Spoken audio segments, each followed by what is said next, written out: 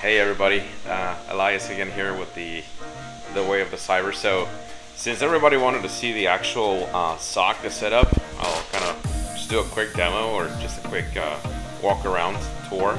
Uh, I guess it was kind of you know interesting. So let's come on over and check this out. So the first thing you'll probably notice is obviously the the screens is just two screens that are that are 65 inch uh, Samsungs. There's really nothing that special about them.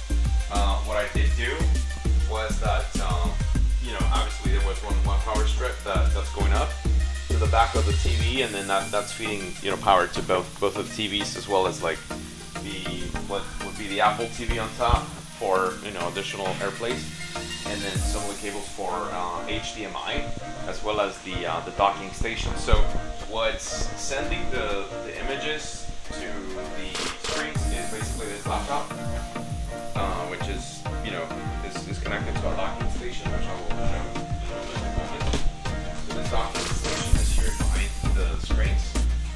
Uh, like I explained, it's a regular Dell docking station, really nothing extremely special. Just a good old docking station that allows me to go out on two uh, HDMI ports. So that's there. And again, it's nothing extremely exciting, but it's there doing its job. So that's our docking station.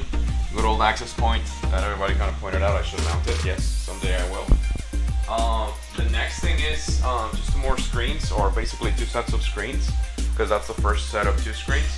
These are, um, you know, also plugged into one docking station, another machine, where I'm doing some work, and then the other machine, which also has another docking station. Here it is. Same, same kind of setup.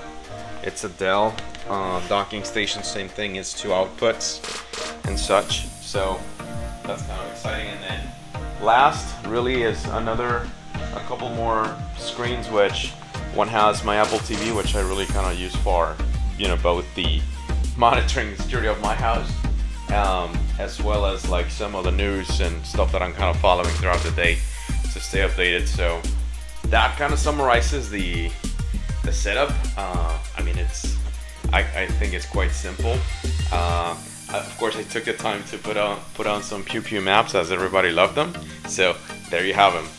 All right, well, stay tuned for more. Uh, as I stated earlier, uh, feel free to send your questions and uh, subscribe. Thank you.